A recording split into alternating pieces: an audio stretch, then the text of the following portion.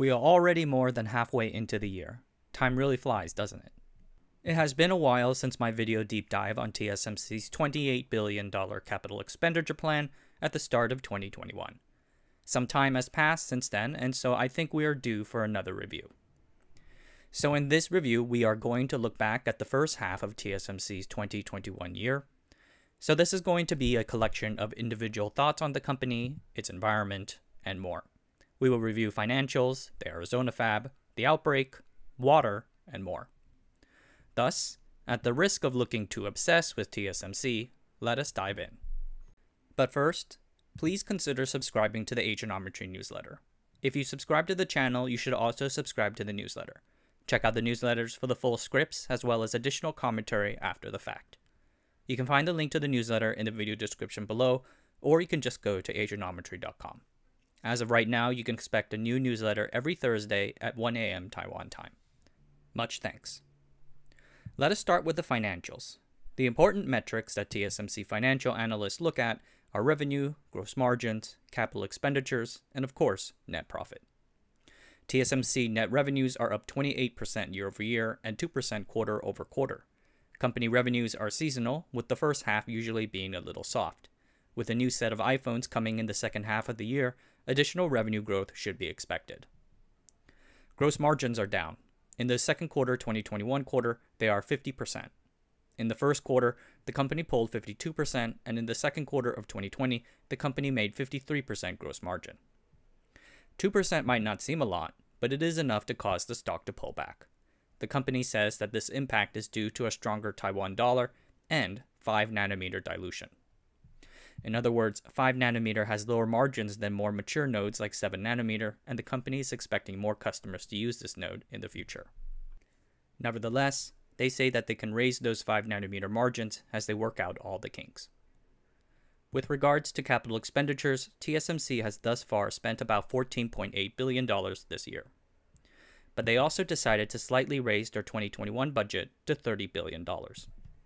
I remember last year that each capital budget raise would cause the stock to respond positively. That such a thing did not happen this year, I think says something about investor sentiment about TSMC spending. There's some concern there. Net profits in the second quarter are up 20% from the previous year, but down from the first quarter of 2021. Net profit margin is down as well, and this is likely due to the lower gross margins and higher operating expenses. The company is spending more on selling, general, and administration. The company is continuing its relentless grind towards the next node. TSMC's next generation leading edge full node after 5 nanometer, which went online last year, is the 3 nanometer process. In June, the company reported that they are on track for high volume manufacturing of 3 nanometer chips by the second half of 2022. TSMC 3 nanometer process will be using the FinFET technology, same as with the 5 nanometer process. This is in contrast with Samsung Foundry, which is using gate all around. It is expected that the TSMC 2 nanometer will use gate all around. The interesting thing is that 3 nanometer is going to miss the annual Apple cycle that defined TSMC's node releases for the past few years. TSMC started making and selling 7 nanometer and 5 nanometer in the year's second quarter, with large scale production coming shortly thereafter. This had been necessary so that Apple, TSMC's single most important customer, can begin assembling iPhones for a September release. But 3nm will miss this cadence. This is mentioned in the second quarter earnings call. About 3 to 4 months as compared with 5nm. Yes, 3nm technology actually is very complicated, and in both processing technology and also the customer's product design. So we work with the customer, and finally, we decided to ramp up in the second half of next year. This jives with a recent report in the Nikkei that says that while Apple will eventually use the 3 nanometer process, the first 3 nanometer chips will go into the iPad Pros rather than the iPhones. The last iPad Pro came out in the second quarter of the year, so the schedules match with a 3 to 4 month delay. The presumed iPhone 14 family will use the 4 nanometer process, a third iteration of the 5 nanometer process. The iPhone 13 FYI, the one that will come this year, will use the N5P, the second half step improvement of the 5 nanometer process now in the iPhone 12. The biggest news story in Taiwan over the past several months has been the island's virus outbreak. A relatively large outbreak that began sometime in May has spread throughout the Taiwanese populace, starting mostly in the Taiwanese underbelly and erupting from there. The outbreak has resulted in widespread soft lockdowns across Taiwan. The cafes are no longer open, schools have gone to distance learning, and companies have gone remote. What the rest of the world underwent throughout 2020, Taiwan is now finally experiencing. As of this writing, over 14,000 local cases have been reported and 755 people have died. The majority of the cases have occurred in the two biggest cities, New Taipei City and Taipei. TSMC is based in Hsinchu, with major facilities in Hsinchu, Tainan, and Taichung. For the most part, these cities have been spared the brunt of the outbreak. TSMC has done a lot here for Taiwan's people. Together with Foxconn, the company bought 10 million vaccine doses from the German company BioNTech. The company then donated the vaccines to the government for distribution and use.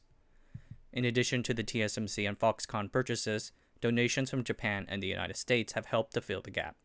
The vaccination rollout is ongoing. Regardless of whatever politics, the Taiwan government has done a commendable job in bringing the outbreak under control, and you can't say that for every government out there. Relentless testing, contact tracing, and surprisingly strict quarantines have drastically brought the case level down. And this is despite more people than ever on the streets and shops. With numbers continuing to stay low, the government is looking to slowly open things up again. It has consumed the daily news, but in terms of TSMC's economic results, it is a non issue. As I write this, Taiwan is undergoing its worst drought in years. It might be weird to think about, but the island is highly dependent on typhoons and other large storms for water. Typhoons might cause their own damage, but they also fill the reservoirs. The lack of rain has made the global news because of the chip shortage, as well as the fact that the semiconductor fabrication process is about as thirsty as a 16 year old boy with an Instagram account. For all those who read those articles at the time and clutch their pearls close to their chest, I would like to update you on the situation. The plum rain's rainy season, or Meiyu in Taiwan, lasts for about two months, usually May and June, and brings good rain. 2021's plum rains were quite excellent, bringing water to both the north and south. I have the photographs, video, and wet socks to prove it. As a result, many of Taiwan's critical reservoirs have refilled to a less pearl clutchy level. The Sun Moon Lake Reservoir in central Taiwan is at 98% capacity. The Baoshan Reservoir number 2 in northern Taiwan, which supplies water to companies in Hsinchu, is now at 100% capacity. It had been at 2.8% in late May. And all the reservoirs that provide for southern Taiwan's water needs are all at 50% or higher capacity, including the ultra critical Zengwen Reservoir in Chiayi. The rains are over for now, and of course, there remain many problems with Taiwan's water supply infrastructure. The drought articles are likely to come back at the start of next year again as the reservoir levels drop low once more. But for now, I do think this issue is less of a concern. In June 2021, TSMC reported that they have begun construction on their Arizona fab. Equipment will begin moving into the clean rooms in the second half of 2022. They will join Samsung and Intel in adding capacity in the American continent. Right now, $12 billion is committed to the campus and it will employ 1,600 to 1,900 new workers. There are media reports that the fab will eventually cost three times that and support six full factories, but the only official thing that TSMC is announcing is their Phase 1. In Phase 1, the company is targeting 20,000 5nm wafers by the first quarter of 2024. The city of Phoenix estimates that the total economic impact is estimated to be $38 billion over the next 20 years. This innovative, growing company will bring one of the largest single foreign investments in Arizona history and provide thousands of quality jobs and will facilitate thousands of additional jobs to support its ecosystem and operation. In December 2020, the company paid $89 million for 1.7 square miles or 1,129 acres of undeveloped land off Interstate 17. Another 450 acres will be rezoned for industrial use to support suppliers working near TSMC. For instance, LCY Chemical, a Taiwanese petrochemical company that makes chemicals for cleaning wafers, announced that they too will build an American factory to support the Arizona fab. The Arizona City Council not only sold the land in quote unquote auction with no other bidders, but will also commit $200 million to build road, sidewalk, and water infrastructure to connect the land to the rest of the city. The Arizona fab will require a lot of water. Arizona, as my commenters like to remind me, is a desert. I've done a video about the semiconductor water issue, and you can watch that if you want a deeper dive, but it is likely that the water allocation for the fab will come out of farmers and agriculture in the area. It sucks for the farmers, their families, and their livelihood, but it is what it is. Phoenix Mayor Kate Gallego and Economic Development Director Chris Mackay had traveled to Taiwan in October 2020 to pitch TSMC and close the deal. Chips do not spring willy nilly from wafers, they have to be turned into such. These services are referred to as the back end. While there are reports of back end services facilities to be included in the Arizona fab location, that has not been confirmed as of yet.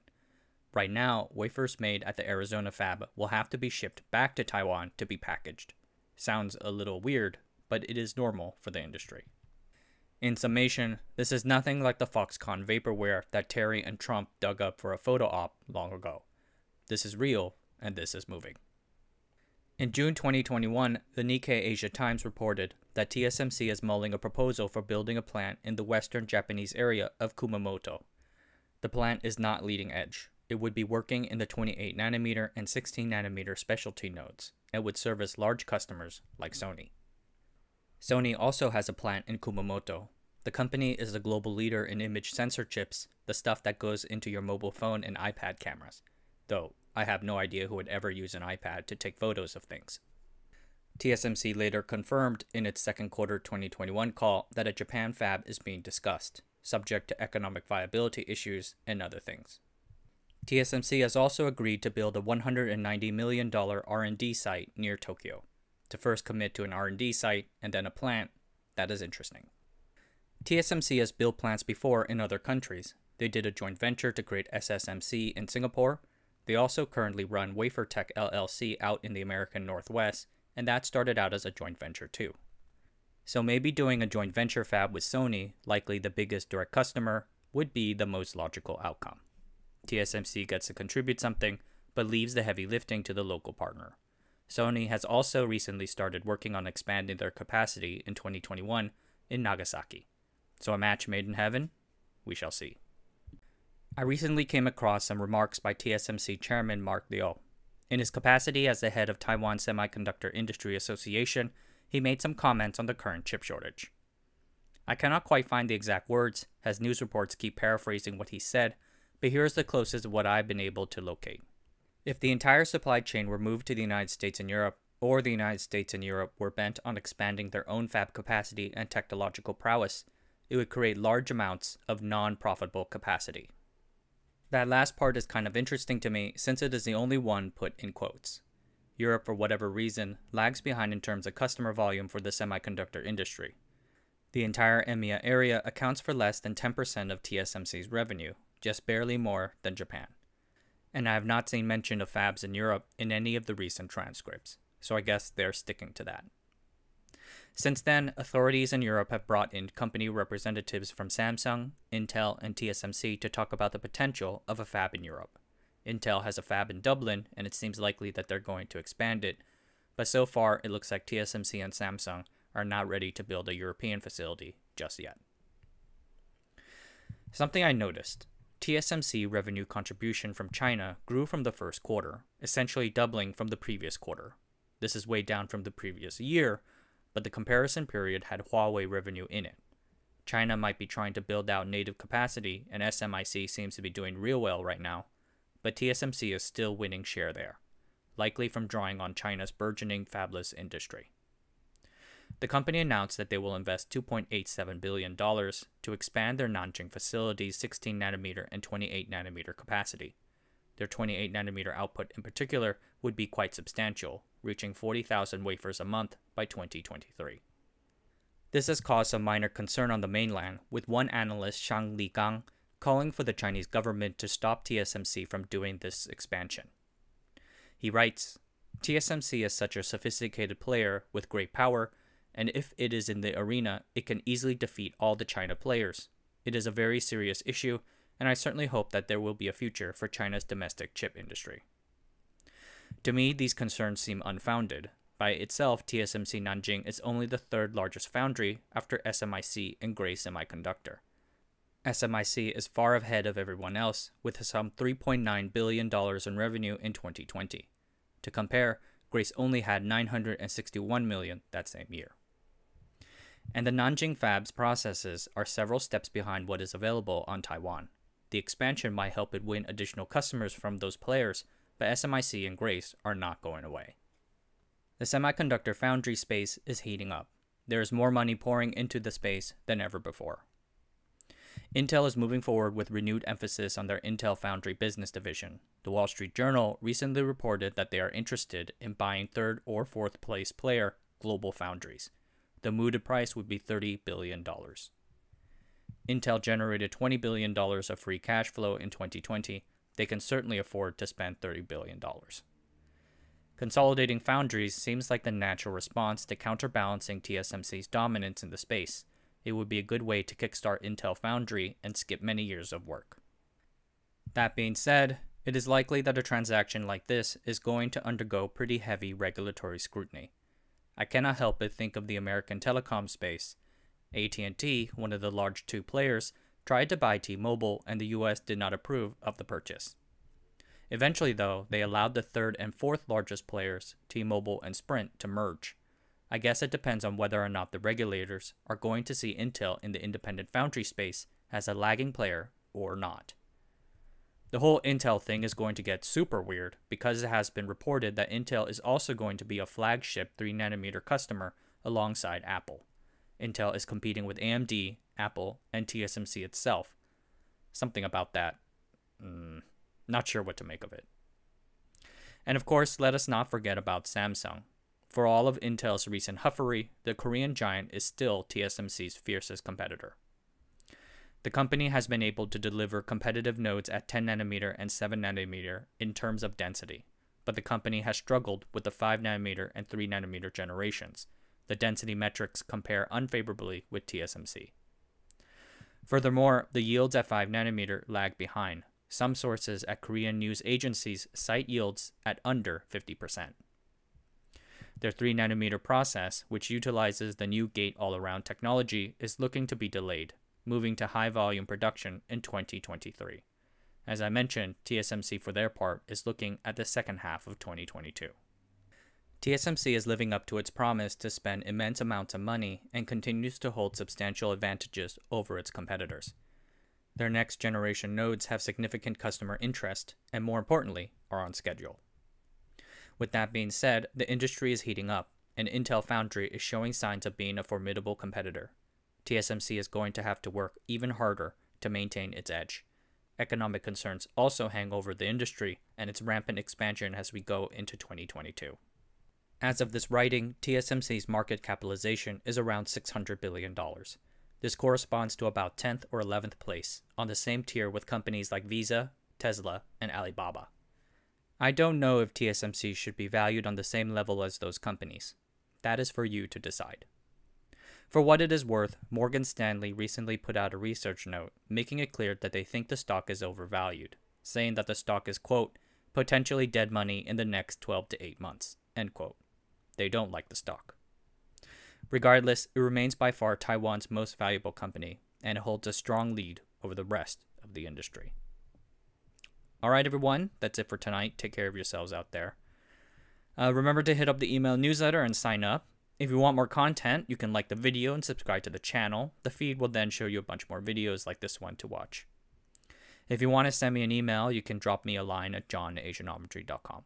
I love reading your emails, and if you live in Taipei, I would love to sit down and grab a coffee sometime. Until next time, I'll